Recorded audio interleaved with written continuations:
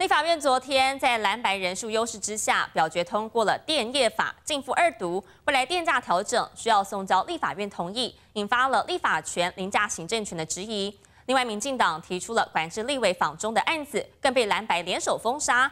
如今国会蓝白合作的态势明显，朝小野大局面将成为赖清德上任之后的一大挑战。民进党提案附中纳管被国民党跟民众党全面封杀，退回程序委员会。国会少数的处境还不止如此。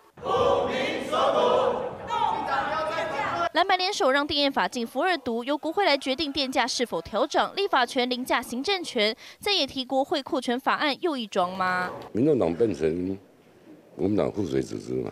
对于卖的行为上面你是交叉持股啊，那立法权上面它是给无限的扩张。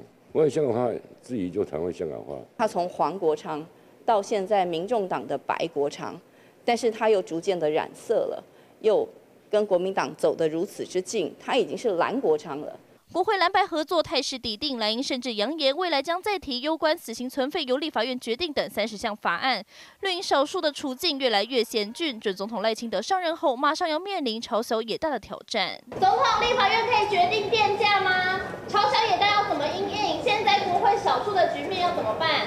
国会生态恐怕让未来新政府施政举步维艰，更牵动国家利益及安全。国民党团总召傅昆萁才坚持把中国用词改为大陆，如今又联手民众党阻挡附中纳管法案，伤害到国家安全、国家主权的这种潜在性的部分。每一位民主基本上六二零，我们都会用尽全力来去捍卫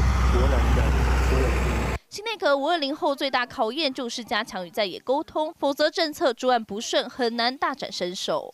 这是元月打台报道。